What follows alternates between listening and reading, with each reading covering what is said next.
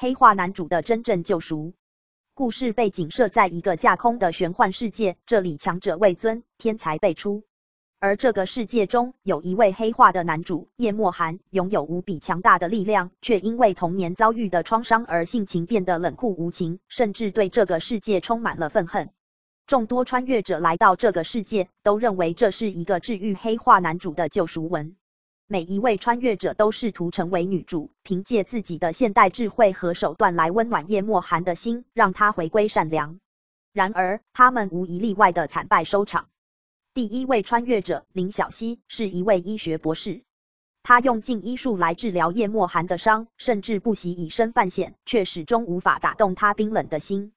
叶墨寒看着他的目光里充满了警惕与冷漠。最终，林小溪在一次为叶墨寒挡刀的过程中丧命于敌人的剑下。第二位穿越者杨欣然是一位心理学家，他尝试用心理治疗来打开叶墨寒的心结，耐心的倾听他的过去，给予他关怀与支持。然而，叶墨寒根本不信任任何人，认为他的一切都是出于目的，最终将他逐出自己的领地。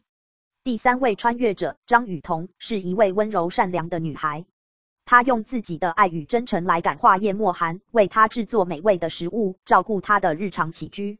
然而，叶墨寒对她的所有努力视而不见，甚至将她的好意视作负担，最终将她冷冷的拒绝在外。众多穿越者接连失败，无人能够真正走进叶墨寒的内心，这让他们开始质疑这个世界的设定，怀疑这是否真的是一个救赎文。然而，他们并不知道叶墨寒的真正救赎其实来自于一位看似完全相反的人——反派大 boss 洛成影。洛成影是这个世界中最强大的反派，狡猾狠辣，与叶墨寒势不两立。两人经常在战场上交锋，每次都打得天昏地暗，却始终未能分出胜负。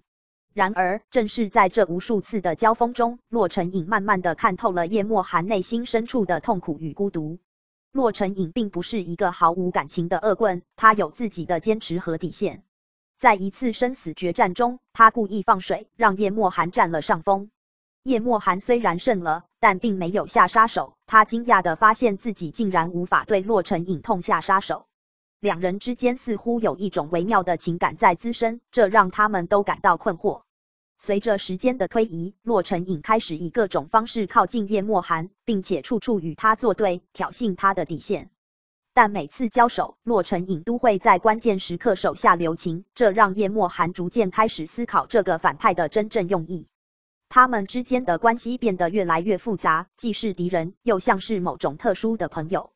最终，在一次致命的危机中，洛成影不惜以自己的性命为代价，救了叶墨寒一命。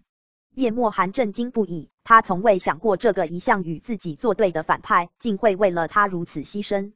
看着奄奄一息的洛成影，叶墨寒的心中第一次感受到真正的痛楚。叶墨寒将洛成影紧紧拥入怀中，双目微红，声音颤抖的说道：“为什么要这样做？留在我身边好不好？”